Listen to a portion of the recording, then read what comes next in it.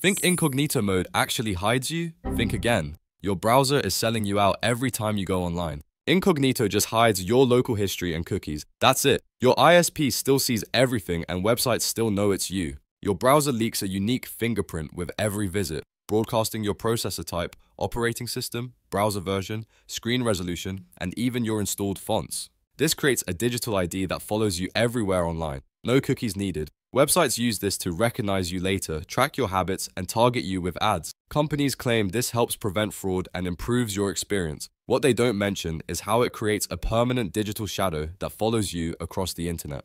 Even in incognito, your digital fingerprint stays the same. Delete all the cookies you want.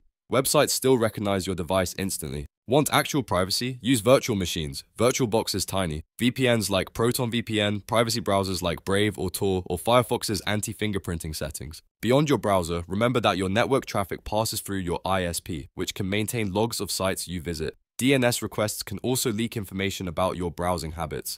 The web is always watching. Your private browsing isn't private at all, unless you take real action to hide yourself.